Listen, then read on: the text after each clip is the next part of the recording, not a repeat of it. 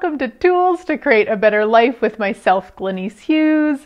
I am so incredibly grateful that you are here, whether you're watching this as a video or listening to it as an audio. Uh, this has been now almost two years that we've been doing this, and yet every once in a while I still want people to know that there's lots of ways to consume this weekly show, uh, podcast or radio show or whatever you might want to call it. But we've got YouTube and Facebook and Instagram and oh my gosh, all the things. Oh, and then of course all of the uh, podcast apps like Spotify and Apple and all the other ones that I don't know. Uh, so you can access this anywhere. You can search tools to create a better life. Uh, you could probably even search my name if you can figure out how to spell it uh, and find it that way. So, what are we going to talk about this week? Well, I am in the midst of facilitating yet another phenomenal foundation class, which is one of the classes from Access Consciousness. If you're not familiar, you can go to accessconsciousness.com for more information about all the amazing classes. It's really where all of the tools that I share on this radio show are from. They are life changing and amazing. So, tools to change anything.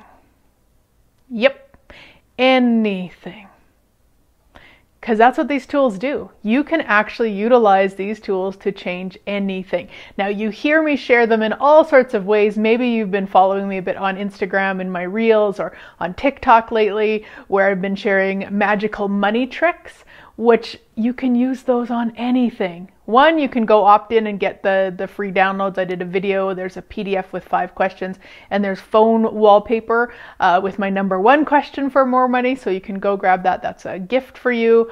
Uh, but basically, these tools can be used on anything. So, first tool. Now, there's, I wouldn't say there's any such thing as like there's the number one tool of all tools. And if I was going to say that, it's this one. Interesting point of view. I have that point of view. Interesting point of view. I have that point of view. So, how do you use this? Now, before I go into this, even if you've been here for a while, even if you've used this tool a million times, take a moment and listen. Because I know what you're like. Because I'm like that too. Be like, oh, I know how to use that. And then you stop paying attention. But let's all just be present for a moment. Okay, there we go. So, what you're looking at with interesting point of view using this tool is any time that you have an interesting point of view, anytime you're judging, you're comparing, you're projecting, you're expecting, you're insane, you're do- whatever it is, whenever you're not being the allowance that you actually be, you want to use this tool. And it's so simple, just in your head. Interesting point of view. I have that point of view. Interesting point of view. I have that point of view. Interesting point of view. I have that point of view. And that's what I do. I give myself some space between saying it to give space to the energy to start dissipating it. So you could do it really quickly. Interesting point of view, I have that point of view. Interesting point of view, I have that point of view. Interesting point of view, I have that point of view. It just might not create what you're looking for. It may. You just want to check in. That's always the thing. You always just want to check in with yourself. It's, if it's changing it, do it how it works. For me, I know that that space of like in between gifts it that. So let's say you're driving to work and you're annoyed because there's heavy traffic. You're annoyed because it's snowing. You're annoyed because you left you know your your partner in a in a tiff or something. Whatever it is, doesn't matter. Interesting point of view, I have this point of view. Interesting point of view, I have this point of view. Bring it up, think about it, and repeat that over and over and over and allow yourself the space to change it. All you're doing is identifying it's just a point of view, which means it's not real, it's not significant, it's not black and white. It's just an interesting point of view. You do that enough times, it no longer has a hold over you. Now you have more space to make a different choice. So, whatever the problem is, whatever the thing is that isn't working, whatever it is that you would like to change, add interesting point of view to it and let's say it's something that occurred last week. So you're not in it in that moment. You're you're remembering it. You're reliving it possibly. Maybe you're having, now maybe this is just me. Pretty sure it's not though, of like where you're replaying it in your head. Oh, I should have said this I should have said like that insanity. All you have to do is like just think of that thing, that situation, that person, that whatever. Interesting point of view. I have this point of view. Interesting point of view. I have this point of view over and over until it just changes it. So it doesn't matter if it's past, you're worried about something coming up in the future, same thing. Think about it, repeat that over and over. I said this already, I'm going to repeat it again though. You do not have to say this out loud.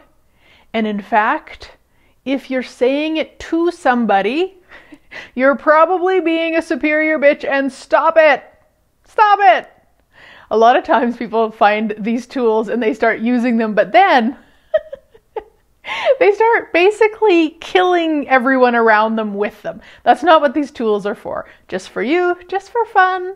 Never tell anyone. So if you're aware that the person talking to you is having an interesting point of view, don't tell them they're having an interesting point of view. That's not kind. But you in your head can say, interesting point of view, they have that point of view. So you can have more space with it.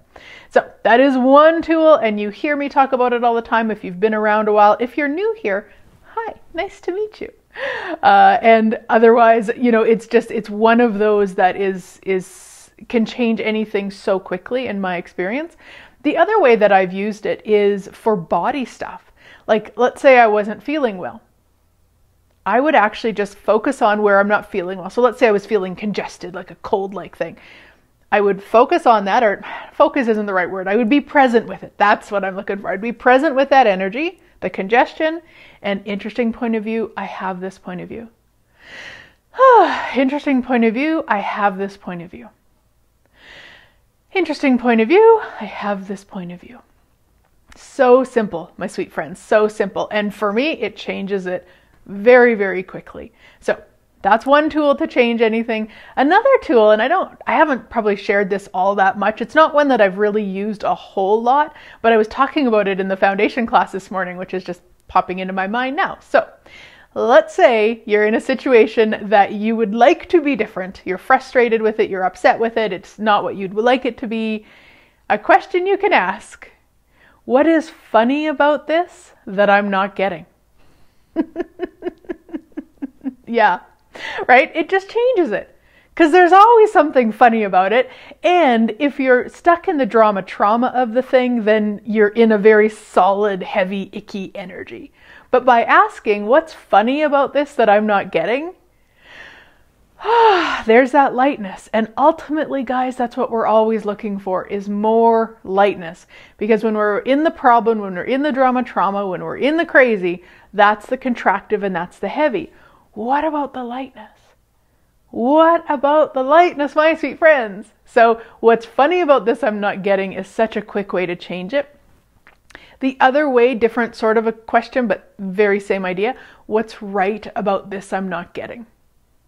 So, same idea, just a different energy to it.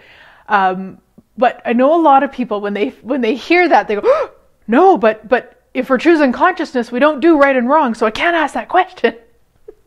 you can. but you just want to recognize we're not asking from the place of like, what's right about this so we can figure out what's right. Not from that. Usually, what we're doing before we become aware to ask that question is we're in the wrongness. Oh, what's wrong with me? What's wrong with this situation? What's wrong with this person? So, when we change it to what's right about this, we change the energy of the situation. So it, it just depends. What's funny about this, I really like that one. And what's right about this, either one of those will change any situation. Any situation. Because again, when there's contraction, once we change it to lightness, that's where the awareness is, that's where the possibilities is, and that is where the magic is. And another tool is to recognize that your point of view is what's creating your reality. It's your point of view. So, you don't have to figure out what your point of view is and change that. You could, that's one way, but a really quick kind of way around that is when you recognize you're in something, there's something going on you don't like, you you know you're choosing it, you know you're creating it. You could ask, if I didn't have a point of view here, what magic could I create? What magic could I be here? It changes it because we're we're not taking our time to figure out all the interesting points of views we're playing with. We're just saying, hey, if I didn't hold on to any of this, what magic could I be? What magic could I create? Which then, guess what? We go from the heavy contraction to the lightness, which is what we're looking for. That's the stuff that's going to change it for us is getting into that lightness and whatever it takes to get there. And this is just one really quick way around it, really quick acknowledgement that we are the creators of our life. Because a lot of times when we're in that ickiness, when we're in the problem, drama, etc., we're playing a victim. We're going, well, I would change this, but that person won't let me, or this wouldn't be happening if they didn't do this, or if the government wasn't that, or if the. if I didn't have a point of view here, what magic could I be? Changes everything. And with questions, we're not looking for answers. So when I ask that, I'm not going, okay, so what magic could I be? Let me figure out the magic I could be. it's, it's not going to work like that. It's just asking that question. We're going to go to the lightness, and then the universe is going to deliver the magic. Okay, our job is just to ask the question, be the question, be the lightness, change anything that isn't light into lightness, and the universe will do the rest. And another tool to change anything is to always be in the question of yourself of what would I like to create here? There's so much value in the problem. We put so much energy into the problem. I need to think about the problem. I need to figure out the problem. I need to spin on the problem. I need to talk about the problem with the 10 people around me and then I'll and then I'll fix the problem and then I won't have the problem and then I'll choose something different. Sorry, doesn't work that way. The only time you'll choose something different is when you choose something different. So the value that we've put into the problem is what we need to stop. And we need to ask ourselves, hey, what would I like to create here? So again, let's go to the example of you driving to work and you're you're upset about the traffic. It's really heavy traffic and, and you're late already and you're in that place of this is so stupid and I shouldn't I shouldn't have to deal with this traffic and I hate traffic and I left early so I didn't have to and all that stuff. That energy is not going to change anything. However, asking, hey, what would I like to create here? Now, it's often the exact opposite of what you're creating. It's often like, well, I'd like to have ease with the traffic. I'd like to get to my appointment on time. And that's all you need to do. Turn it into what you'd like to create and then ask for that. Like and and the way that I ask sounds a little bit different than an ask, but it's a, still an ask. I wonder what it would be like to get to the appointment on time. I wonder what it would be like to have ease with driving right now. So I wonder about it, which is, is similar to a question. Or you could ask, what would it take? What would it take to have ease with this right now? What would it take to get to my appointment on time? What magic could I be to get there on time? So you're turning it into your ask of what you would like, which is getting you out of the solidity of the problem and into the lightness once again. Yes, and that's what we're looking for. So, some really simple, easy to use tools, my sweet friends, to get you out of the problem and into the space, the lightness to change it as if by magic. So, depending on when you're watching this, sweet friends, I would love to invite you to the Projections, Expectations, Separations, Judgments, Rejections book club that I have starting on March 8th, 2022. And of course, if you're listening later, you can always access the, the um, recordings and stuff uh, link will be the same, so you'll find that link somewhere. If you can't find it, let me know. And pool party bars and foundation in July of 2022. Come and play, bring your swimsuit, and just so you know, the class is not in the pool. I'm sorry for those of you who would like that, but it is not. The class is in the in the class space. And then before class, at lunch break, and after class, the pool is open for your use. So just for anybody who thinks that we're having class in the pool, we are not. How does it get any better? I'd also love to invite you to come and chat with me. so you guys hear all sorts of stories about me. You probably know me quite well based on what I share in all my content and my classes and everything. And I've opened up a weekly Zoom where I chat with you anybody who would like to, you'll find the link. You can opt in and you'll get the email. We just hop on Zoom for five to seven minutes and you just tell me about you. I've got some really fun questions to ask you just so that I can start to get to know who you are because I miss that. I really, really miss that. So, anyway, have a fabulous week, sweet friends, and I look forward to chatting again next week.